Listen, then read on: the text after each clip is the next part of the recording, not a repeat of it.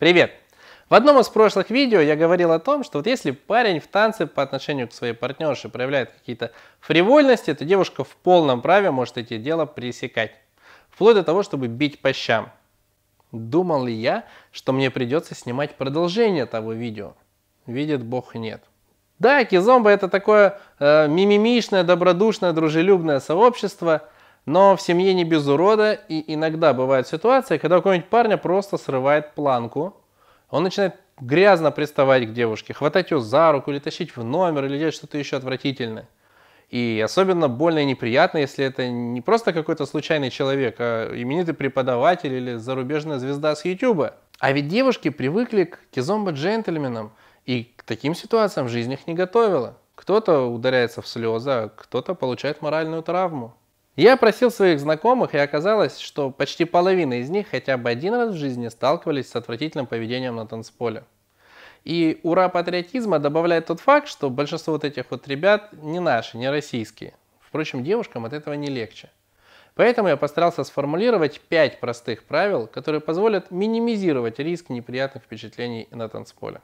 Первое, что нужно знать девушкам. Грубость и насилие существуют в этом мире, и кизомба не исключение. Второе. Если с тобой грубо обращаются, не терпи, не молчи, а всем своим видом показывай, что тебе это не нравится. Привлеки к себе внимание других людей. Кричи, вопи о том, что ты против этого. Пусть окружающие люди поймут, что это не какая-то там ваша игра, а реально проблемная ситуация. Третье. Как только ты оказалась в безопасности, сразу же сообщи организаторам вечеринки или фестиваля об этом инциденте с именами, фамилией, ну или хотя бы пальцем покажи на того человека. Организатор, он не твой враг, он твой друг. У него есть определенные рычаги влияния на приглашенных артистов и в крайнем случае просто вызовет полицию. Да и к тому же организаторы между собой общаются, они передают друг другу фамилии тех артистов, которых не стоит приглашать к себе на мероприятие, если ты не хочешь потом за него краснеть. Так что, сообщая об инциденте, ты уменьшаешь количество девушек в России, которые столкнутся с подобным хамством на танцполе. Кстати, анонс не на правах рекламы. Очень скоро Надежда Кузьмина, один из самых крутых организаторов кизома мероприятий, проведет прямой эфир, в котором расскажет вот об этой проблеме с точки зрения организаторов. Следите за ее новостями. Ну а мы вернемся к нашим правилам. Четвертое правило.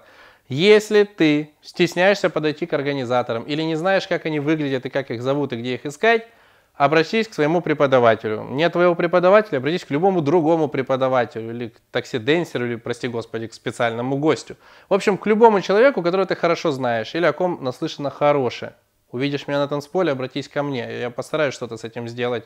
Или как минимум свяжусь с организаторами. Ну и пятое, самое главное, не молчи об этой ситуации.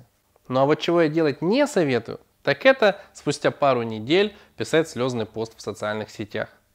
Потому что делу это точно не поможет. Организаторы будут воспринимать этот пост как э, просто слух, ничем не подтвержденный. А еще туда набегут тролли, которые будут говорить, что ты сама виновата, и сучка не захочет, кабель не вскочит, и всякое прочее дерьмо. Оно тебе точно не нужно. С вами были Кизомба подкасты. Я искренне надеюсь, что вся эта информация вам никогда не пригодится. И увидимся на танцполе.